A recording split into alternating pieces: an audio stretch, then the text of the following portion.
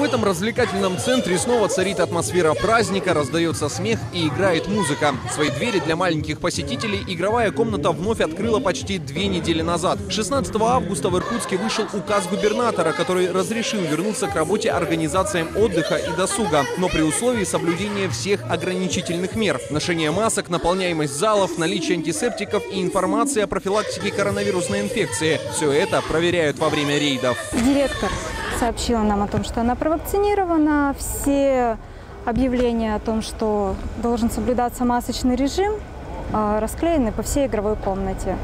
Поэтому в данной игровой комнате нарушений не было выявлено. Инспектируют не только игровые комнаты, к ним меньше всего претензий. В поле особого внимания торговые центры, общепиты и кинотеатры. Места, где поток людей самый интенсивный. А значит и антиковидные меры должны исполнять безупречно. Но, к сожалению, требования закона часто расходятся с реальностью. Документы? Имеется основание. На каком основании? Да, документы. На основании нарушения 222 указа губернатора и 279 УГ.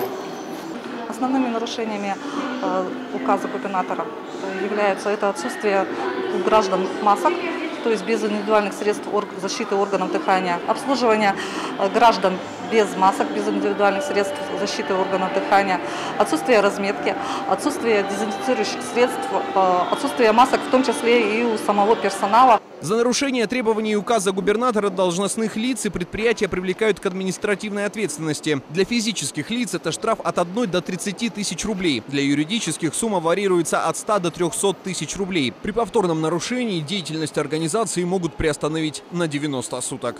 Иван Губин, Сергей Коваленков, АИС ТВ.